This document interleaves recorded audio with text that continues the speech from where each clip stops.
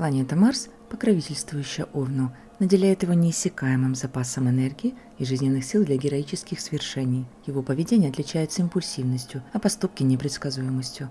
Энергичность и лидерские качества позволяют ему оказывать влияние на окружающих. Своим предприимчивостью и мужественностью он заслуживает уважения многих, однако из-за неосторожности и дерзости наживает и немало врагов.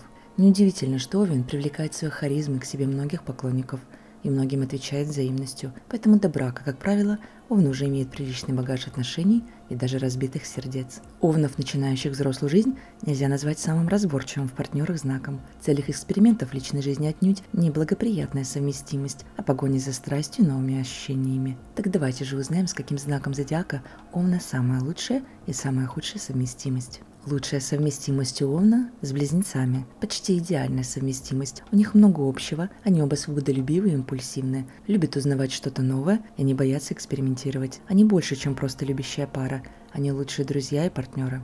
Овен и Скорпион – это очень сложный, но страстный союз. В то время как Овен придает Скорпиону энергию, Скорпион придает Овну глубину. Это действительно может стать откровением, союзом, который стимулирует личностный рост и самосовершенствование. Или это может превратиться в тяжелое испытание, которое приведет к эмоциональной травме. Они оба довольно вспыльчивы и амбициозны, но легко приспосабливаются и уважают друг друга. Овен и Стрелец. Это может быть брак, заключенный на небесах. Они оба спонтанны, энергичны, и им нравится быть в центре внимания. Стрелец может завоевать прямолинейного Овна хитростью и любовью, а Овен может потакать всем желаниям своего партнера. Они невероятно совместимы и в постели, что придает их отношениям еще больше красок. Овен и Лев. У этих отношений есть отличный шанс стать счастливыми. Если Лев сможет преодолеть свою гордость, а Овен, конечно, не попытается установить абсолютный контроль над своим партнером, они могут дразнить друг друга, чтобы разжечь страсть и с большим энтузиазмом искать что-то новое. Желание заботиться о своих детях вместе только укрепляет их связь. Им просто нужно научиться идти на компромисс. Худшая совместимость – Овен и Дева. Они видят отношения слишком по-другому. Дева предпочитает таинственность и романтику, Овен всегда требует чего-то нового. Овен часто думает, что Дева слишком придирчива и чувствительна.